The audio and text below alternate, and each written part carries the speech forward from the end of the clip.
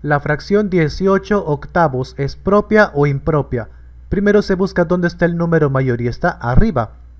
Y siempre que arriba esté el mayor, estamos en este caso. Es impropia.